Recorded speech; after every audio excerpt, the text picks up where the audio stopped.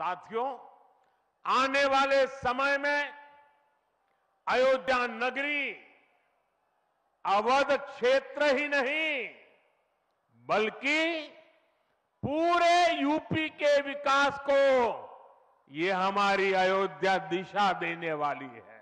अयोध्या में श्री राम का भव्य मंदिर बनने के बाद यहाँ आने वाले लोगों की संख्या में बहुत बड़ी वृद्धि होगी।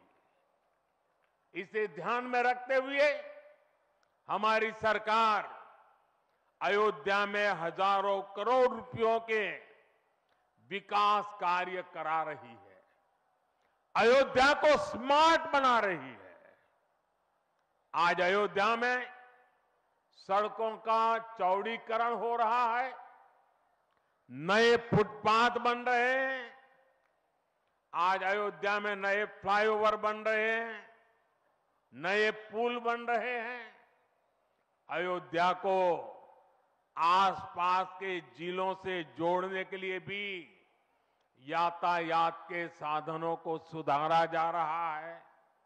साथियों, आज मुझे अयोध्या धाम एयरपोर्ट और अयोध्या धाम रेलवे स्टेशन का लोकार्पण करने का सौभाग्य मिला है।